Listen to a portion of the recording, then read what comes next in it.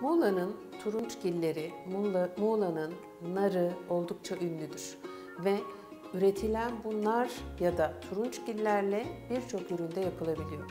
Bunlardan bir tanesi reçel mesela hepimizin bildiği ama bir diğeri ise lokum.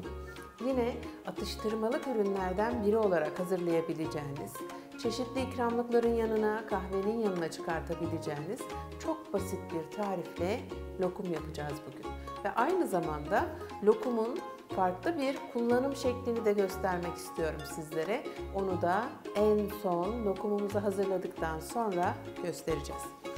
Hemen bunun için kabımı aldım.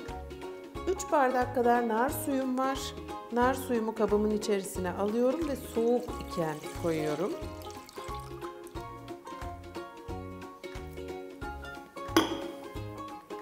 Üç tatlı kaşığı kadar da nişastam var.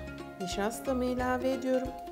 Son olarak bir buçuk bardak kadar da şekerimiz var. Şekerimi ilave ediyorum ve hepsini iyice homojen olana kadar, pürüzsüz olana kadar çırpıyorum.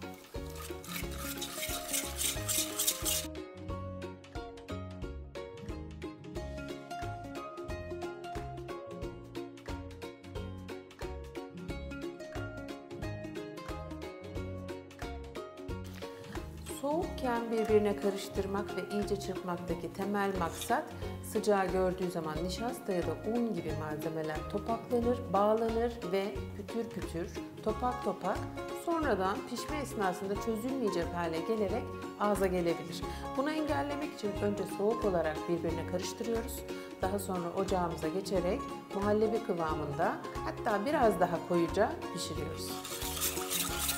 İyice birbirine karıştı ve artık pişirmeye geçebiliriz.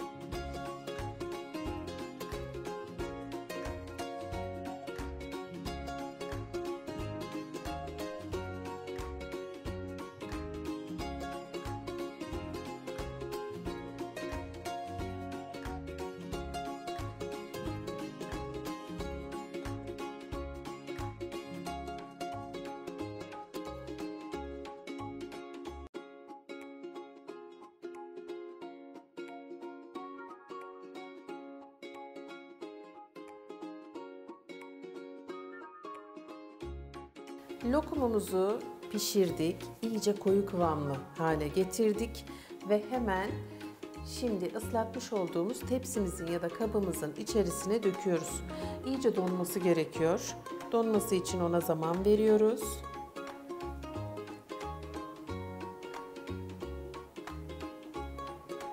Ve tamamen donduktan sonra nişasta ve pudra şekeri karışımıyla bulayarak yenmeye hazır hale getireceğiz.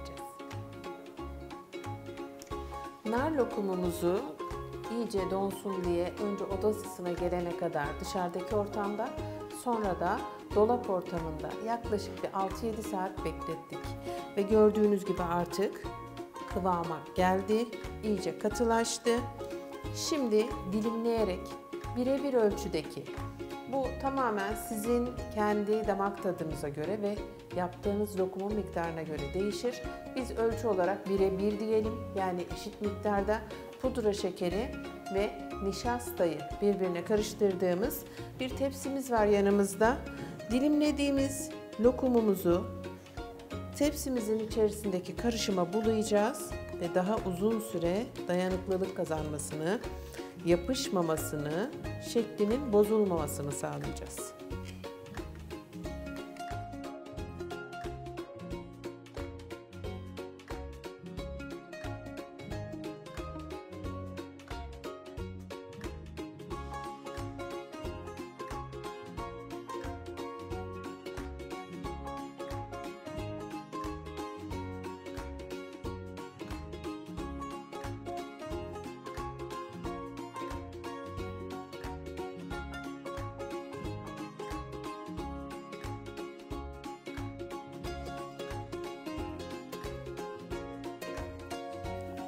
Her tarafını eşit ölçüde buladığımız zaman hem fazla nişasta ve pudra şekeri olmayacak, lezzetini ağırlaştırmayacak, hem sulu yapısını toplayacak ve sulanmasını engelleyecek.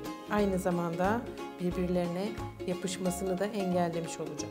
Hazırladığımız nar lokumlarımızı şöyle servis yapacağımız alana dizebiliriz.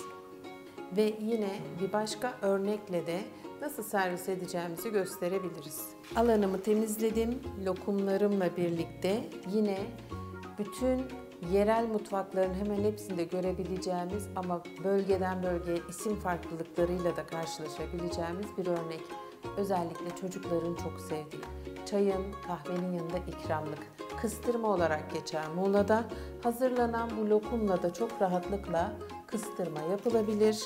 Bir örnek hemen iki bisküvi arasına hazırladığımız lokumdan koyarak ve üzerini hafif bastırarak, yaydırarak kıstırmamızı hazırlayabiliriz.